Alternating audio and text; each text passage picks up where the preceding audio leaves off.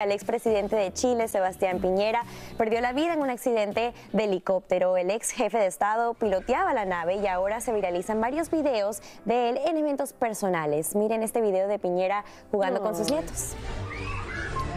Al final de cuentas, nos reafirman que la vida es un ratito y hay que disfrutar cada segundo con la gente que queremos, darles besos todo el tiempo, abrazarlos, eh, porque un día estamos y al otro ya. Así en un segundo nos cambia la vida. Fue mi último post, mi más reciente post en el Instagram fue acerca de eso. O sea, el día tiene 24 horas, tú no sabes qué, qué va a pasar contigo, por eso es el momento importante decirle a la gente que uno quiere, a la gente que está alrededor, decirle, te quiero, tratar de vivir sin cargas en la vida.